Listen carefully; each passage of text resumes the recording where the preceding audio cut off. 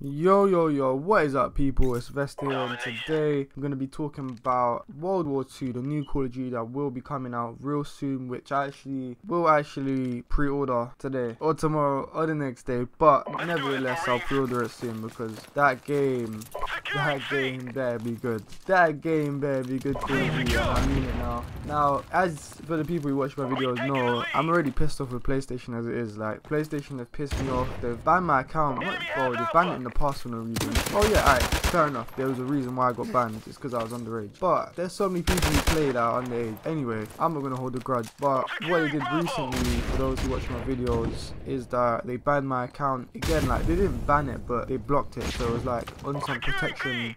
I don't know what it's called, but it's like some protection, protection. I mean protection lead or something like that. Anyway, I say I got my account back two or three weeks later, and I haven't got any like money off it. Like they haven't given me any PSN codes for free or anything, but you know, I'm not, you know, I'm I'm grateful. I have my account. I'm not gonna bother with PSN. I have my account. I'm gonna keep it as that. I'm a happy man. But nevertheless, getting back to what this video is about, World War II, the new Call of Duty is gonna be an interesting Call of Duty. It's gonna be interesting because these last couple of years, the Call of Duty that they've been coming out with. Wait, oh wait, let me think. How many years has it been? One, two, three. I'd say maybe approximately three years now, two or three years. Like they've they've been bad. Like me personally, I don't like them. I mean, there's people out there who do like them, but I'm saying from personal opinion, I don't like any of the Call of Duties that have come out in the last two or three years. Apart, let me finish. Let me finish. Apart from Call of Duty Modern Warfare Remastered, because that's it's, it's old school. Man. It's old school. It's COD 4, Call of Duty Remastered. It's original. It's a good game, and they've remastered it very well. And I'm very, very, very, very happy that they've released that. But World War 2,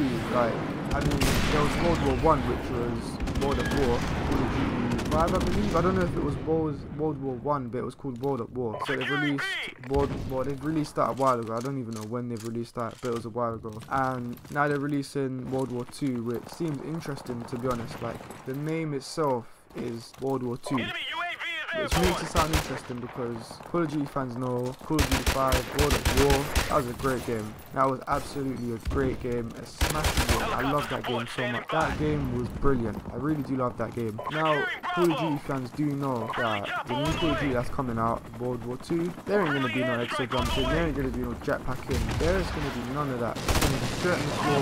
Mean, they might have strafe jumping if that's what it's called, or some sort of snake movement you can do on the floor. You know how Call of Duty do. They're smart with their movement, they're smart with what they do, but nevertheless, it's not going to be jetpacking at all. No jetpacking, no exo jump, none of all of that stuff there. Run the walls, you skateboarding across the map. Not skateboarding, you get the point. Now, it's interesting, it is interesting when you think about it, because it's going back to its roots, Call of Duty, with, you know, it being basically, I wouldn't say a war game, but it's essentially portrays an image of war. Like it's it's called World War Two. Like thinking back at some of the old names of Call of Duty, Call of Duty uh, Modern Warfare, Call of Duty World at War, Call of Duty Modern Warfare, which is Modern Warfare Two, Call of Duty Black Ops, Call of Duty Modern Warfare 3, Call of Duty Black Ops 2, and alright, I might not get this in order. Was it? I think it was Call of Duty Ghost that came out before Call of Duty Call of Duty, and Call of Duty Advanced Warfare. Now I'm not too sure because I stopped following Call of Duty. I still, of course, I still bought the game, but I stopped playing it mainly for the main reason being that I just wasn't happy with of Duty. It just got to a point where it was ridiculous. It wasn't realistic anymore. It just, it just demotivated me to come on the game and make videos. Like even down to coming on the game and making videos, like I didn't, I didn't feel motivated enough to do that. It just felt so rubbish. Like it didn't feel like a game I wanted to invest my time into. Like I'd rather play FIFA maybe, or just go back to one of the previous Call which I did. I used to play Modern Warfare 2 quite a lot. I used to play Modern Warfare 3 quite a lot. I used to play 2 quite a lot. And these are all games with no exo jumping, no jetpacking, all of that stuff there.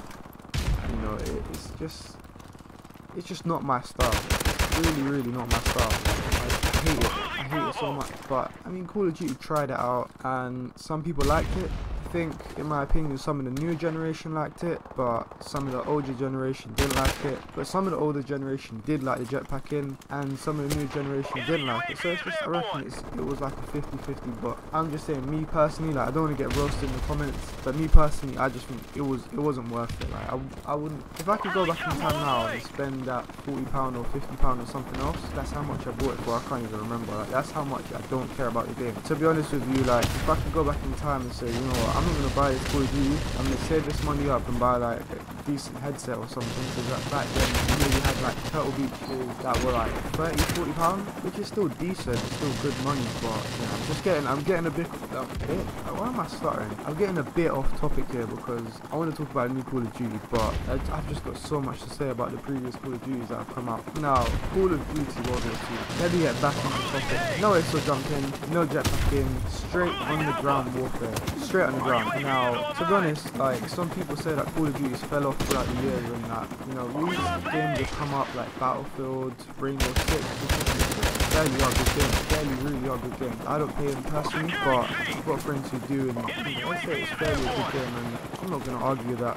I don't play it. I don't know if they're good games or not, but I just take it as, you know what, they're good. A lot of people play it, so it must be good. Now, with the new Call of Duty that's coming out on the grounds, I feel as if it has potential. It has potential to be one of the best selling games of, I don't know about saying this year, but possibly next year, because now they've brought out, well, on the grounds, I I'm guessing that the next Call of Duty they bring out will be on the ground again. Because I heard rumours about there's not going to be any more exo jumping or any more jetpacking, so which is good, which I like. Now, if the new Call of Duties from now on are on the ground, to the people who say that, yeah, Call of Duty fell off, Call of Duty's done this, Call of Duty's done that, Call of Duty could possibly be back on an uprise because I personally feel like Modern Warfare 2 is when Call of Duty was at its peak. Like there was trick shotting, there was speeders, there was clans, there was MLG, there was so much going on, so much going on there. Competitive sniping, there was so much going on. Like that game was so good. I remember I used to run home after school to play that game. I love that game. Oh no, I don't know about running home after school, but I remember getting home and playing that game. I love that game. Till this day, I love that game so much. That's my favorite game ever. It's such a perfect game.